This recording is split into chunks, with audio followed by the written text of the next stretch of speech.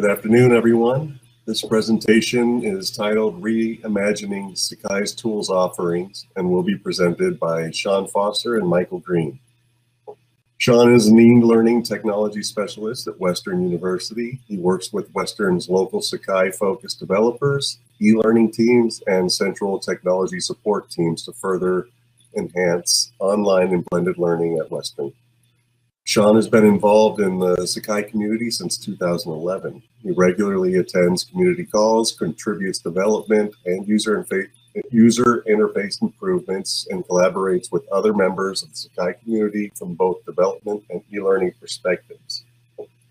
Michael is the Associate Director for Learning Technology Services and Strategy at Duke Learning Innovation.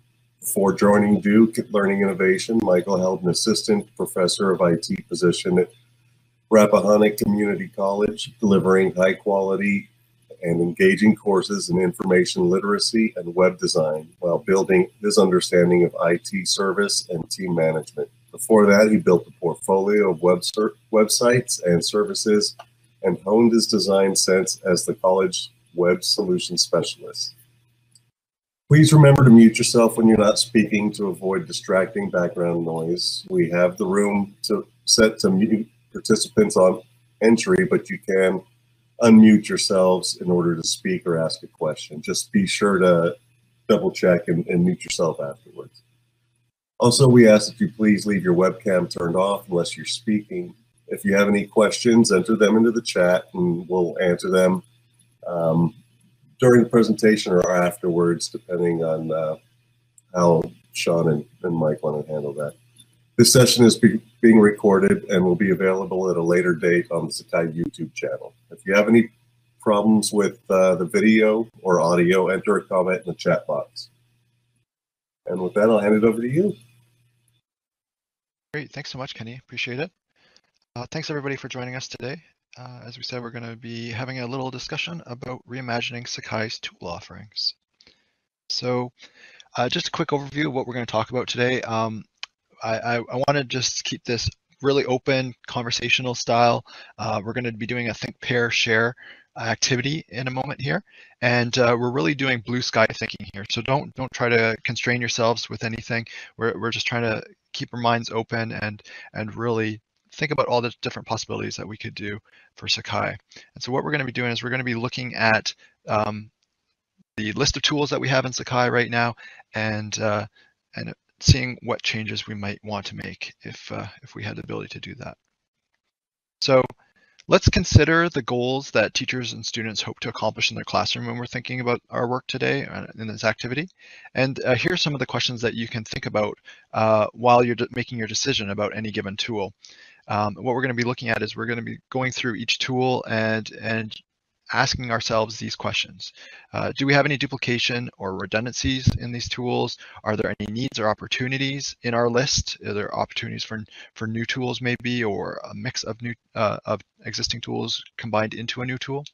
And uh, could or could they just be grouped together or reorganized differently overall? And so what we're going to be asking you today is what changes would you make? So as I alluded to earlier, we're going to be doing the think, pair, share um, uh, process for that. And so what we're going to start off with is 10 minutes of independent think. And we have a spreadsheet that we'll show in just a moment that uh, each of you will have your own sheet. You have a list of the existing uh, tools in Sakai.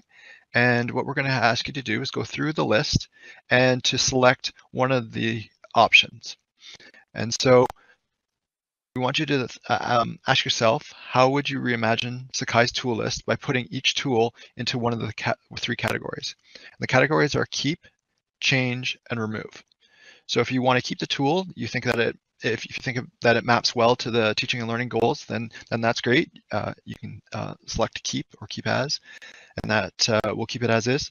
Or maybe you want to change something. So you might want to split it into multiple tools or merge it uh, with other tools. So you would select change. Or maybe you think that this tool isn't needed anymore and you want to remove it completely. So you could select remove. And for each tool, there is an option area for you to uh, add justification, description, or comment based on maybe uh, explaining a little bit more about why you chose each option. So in a moment, I'm going to give you a link to our spreadsheet and you'll go and you'll find your sheet sheet and you will uh, select one of the options that I uh, listed just above there and uh, add a comment to explain any details. So it's, um, that would be our process for today. And then after we've done this independently, uh, as I said, we'll, we'll give you about 10 minutes to do it. Then uh, we'll uh, put you into breakout rooms as probably pairs or trios, and then you'll be able to discuss um, your, your list with the others in your group um, on a new sheet and compare any differences, discuss any of those differences, and then we'll bring that back at the end for our share part of the exercise um, and discuss it as a group, um, which uh, any differences or, or big changes. And uh, hopefully by the end, we'll have kind of a rough idea of any major uh, new ideas. So really keep your mind open, think um, through um, all different ways that you might uh, want to re-envision the list for Sakai tools. I'm just going to switch over here for a moment to our sheet. Sean, uh, Tiffany had a question that said for change, does that also mean improvements to the UI or would I put that in? Um, can you elaborate a little bit on that, Tiffany? Um, do you just mean like? Um...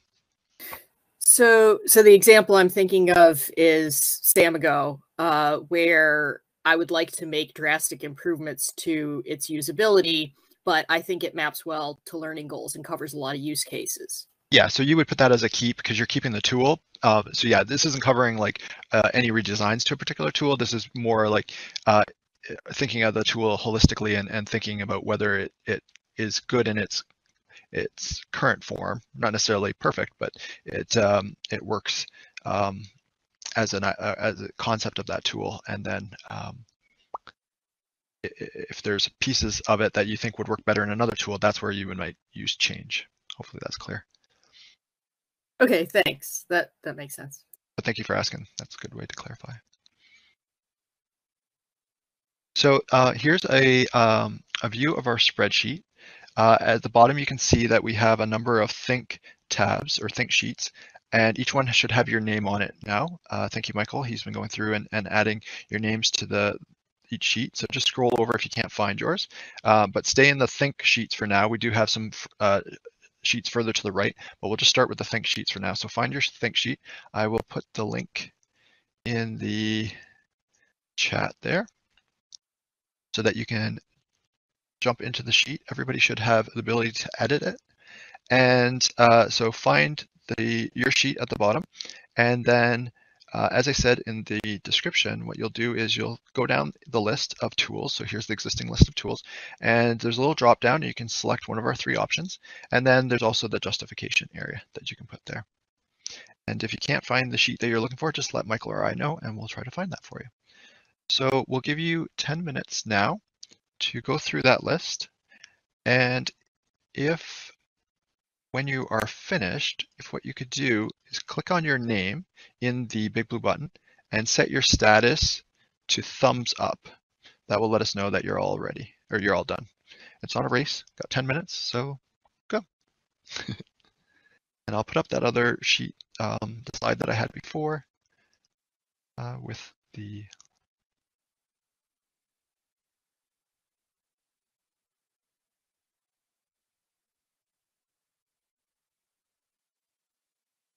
We'll give you about two more minutes. And when you're done, if you can just click on your name in Big Blue Button and set your status to a thumbs up just to let us know that you're done. Those who have. Two minutes left.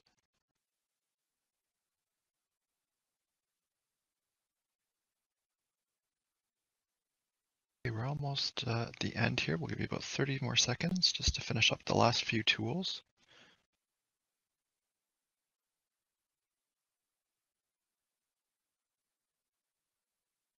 Us a thumbs up in Big Blue button by just clicking on your name and setting status to the thumbs up. Okay. So thank you guys for doing that. That was the first part of our Think Share Pair or Think Pair Share uh, activity today uh, to independently think about uh, the tools in your list. Don't worry if you haven't quite finished them up. Um, you can finish them up in a moment or you can keep working on them while I explain the next part. Um, So now we're going to go on to the pair part of Think Pair Share. So what we're going to do is we're going to uh, put you into breakout rooms of two or three people. I think we have a kind of an odd number here, so we'll group into either two or three. And uh, Michael's creating sheets for you at the moment that uh, will be numbered. And uh, this time, what we want you to do is to copy your list. So this is the keep, change, remove column from your uh, current Think share or Think sheet uh, you'll copy that uh, your answers to each of your tools, the ones that you selected, over to your new pair list, and you'll see that there'll be a column, and I'll show you in just a moment, there'll be a column um, for uh, person one and person two. And uh, then you'll have the two lists next uh, next to each other, uh, yours and your partner's.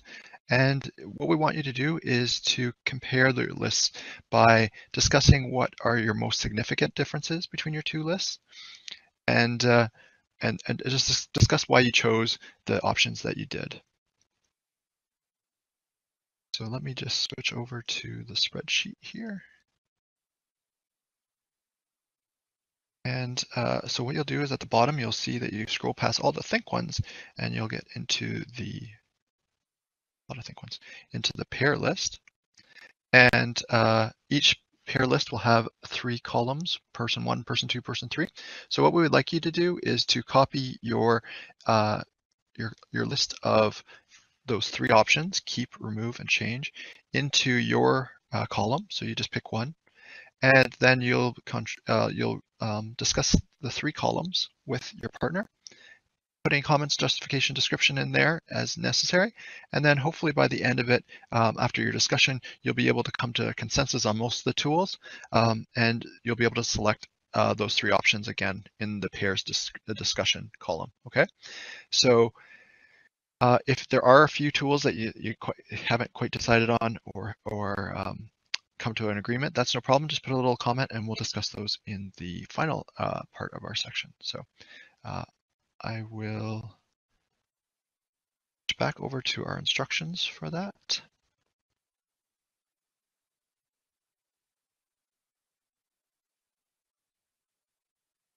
So copy your list, discuss, and make a new list. And we will put you into breakout rooms. So I'm going to create, let's see, we have about 24 people here. So I think I will create about eight rooms. The room number will be the pair number that you'll go to in the sheet, okay? I'm gonna create rooms. And this time you'll have 15 minutes because a little bit more to discuss. And let us know uh, if you have any questions. So here we go.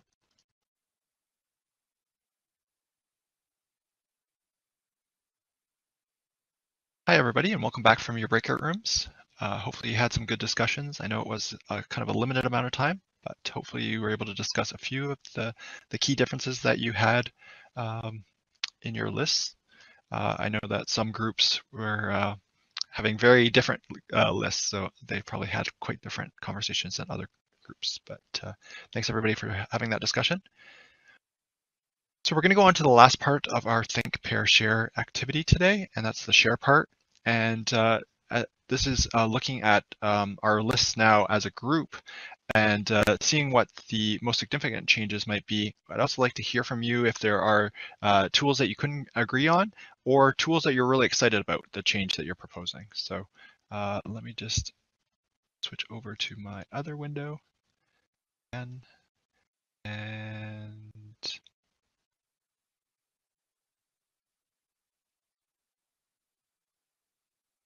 Uh, the last far farmost sheet is called group. And in this one, what we've done is we've totaled up all of the columns that you have in your pair sheets uh, in that final column, the H column, and have put together this list of kind of an overview of what your decisions were. So you can see the darker the, the color, um, higher the number uh, for those. So um, I thought what we'd do is just do a quick overview of this first, and then we would uh, open it up to any points that anybody wanted to make about their own lists or their own discussions that they had uh, with their pairs. So uh, let's see, we have announcements is pretty high, external tool and gradebook and lessons. Oh, I missed dashboard and assignments. Overview, resources, rubrics, tests and quizzes and help. So they all are pretty high on the keep pile. Um, so we have some other ones here. We've got a lot for changing in calendar, commons, and conversations. So are there any groups that want to elaborate on that particular point that they made uh, about changing one of those three tools? Do you have any ideas, thoughts? Either unmute yourself or um, in the chat. We said it could be combined with either the overview tool or the dashboard tool. Which tool was that? Sorry, Marty. That the calendar tool. Calendar. Okay. Combine with overview or dashboard. Okay. I think I saw a hand up here. Was it Matt's hand? Matt have a question? Oh no. Okay. Let's put in the chat. Calendar. All of our institutions have productivity suites. All of our users have smartphones. This calendar does not integrate with them or at best integrate in an unsatisfactory way. Sorry, can't talk. Um, yeah, so you're looking, uh, Matt, at changing it to integrate with some of those other suites. Is that maybe what you're proposing there? Something like that, uh, and perhaps it's its lack of use is its competition that it's not uh, integrating with.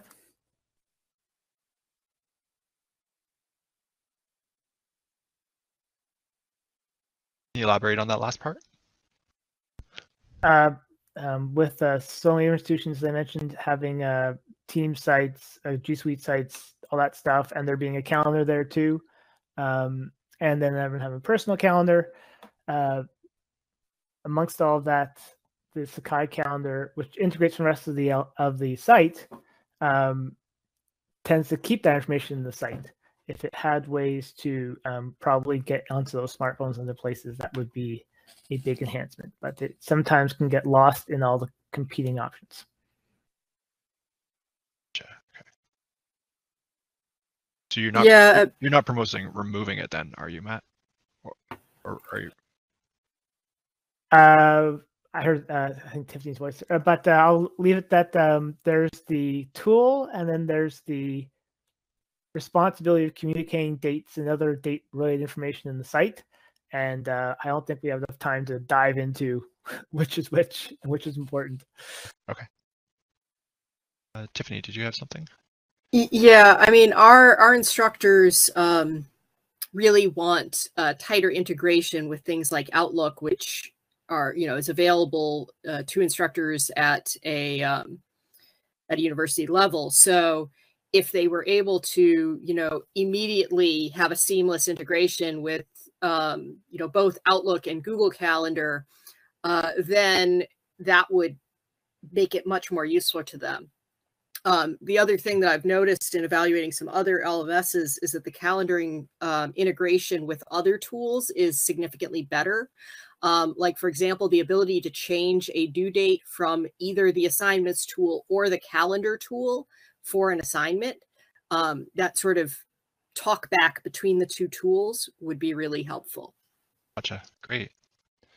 Uh, what would we call that? Uh, better um, communication between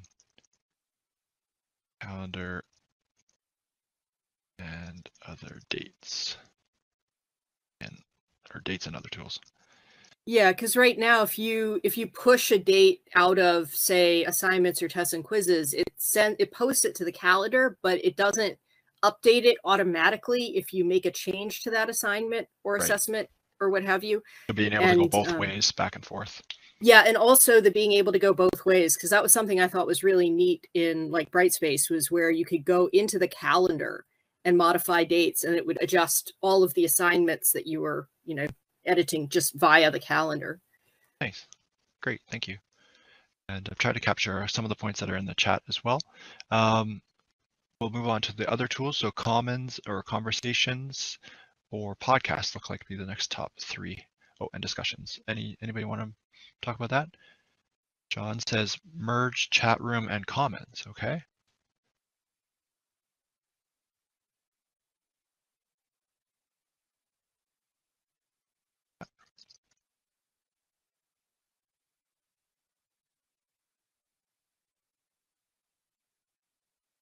Plus one for Matt about that. We've got merge conversations, comments, and discussions. Okay. So kind of having a communication tool almost of all these group together. Interesting. We said to get rid of chat room altogether because there's third party tools out there now that every university seems to have adopted at least one of them that does it a lot better Zoom, Teams, what have you. Um, so get rid of chat room. Uh, could you also use Slack for that and then combine conversations, discussions, and commons or kind of asynchronous discussion? Okay.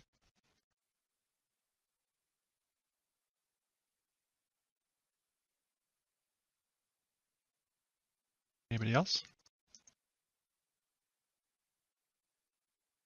We've gotten a lot of feedback from instructors that they want um, discussions to be more like modern um, sort of discussion tools, like forums that you find online. Um, they'd like more social media like functionality, such as, you know, upvotes or likes or what whatever. Um, I put Discord in the chat. Is that kind of what you're thinking, Tiffany? Um, so they've mentioned that, but they've also mentioned, um, yeah, things like Slack or Discord, uh, but but just having it be more, oh gosh, see, because Slack and Discord are more chat based, not not necessarily um, something that you'd want to have it in in organized segments. So they might still want some organization of threaded discussions, which is not necessarily what you get with with a, a Slack, but um so maybe more like Reddit, as they're saying in the chat. Yeah, yeah, something okay. more like Reddit. Yeah. Great, thanks. And also easy way to um, embed and upload materials. So like they want to embed an image or a video directly in the post uh, without having to add it as an attachment, which then the student has to open in a separate window and all of that.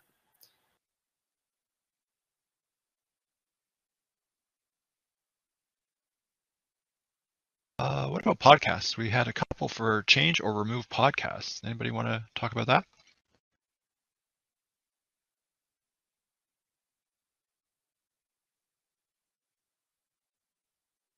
Josh, you raised your hand. Go for it.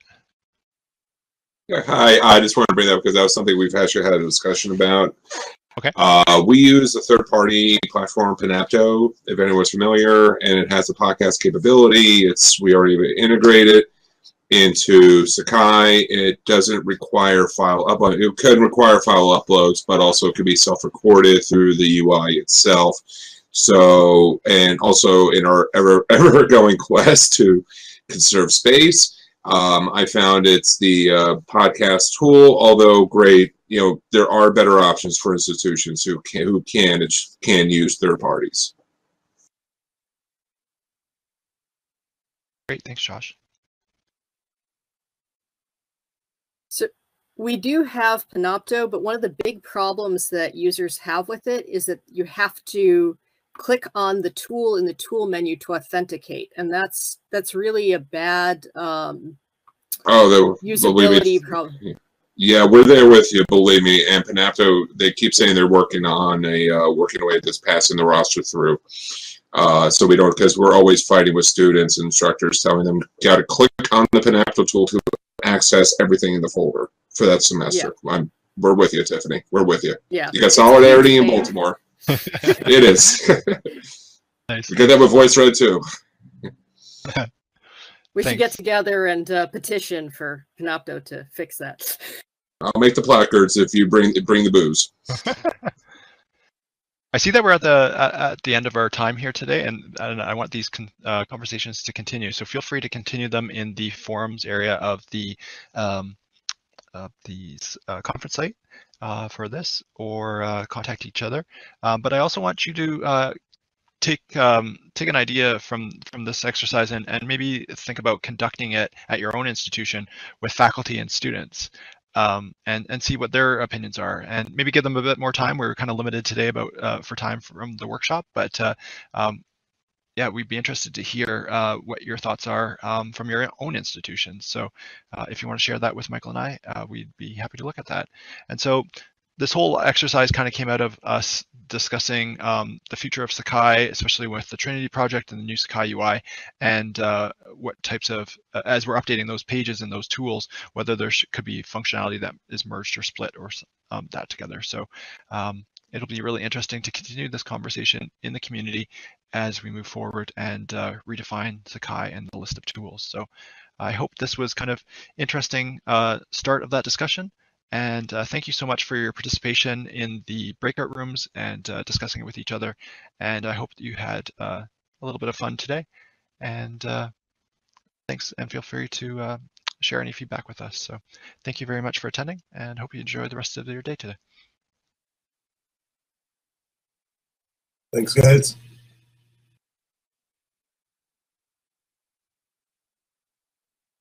Pause the recording there. Um,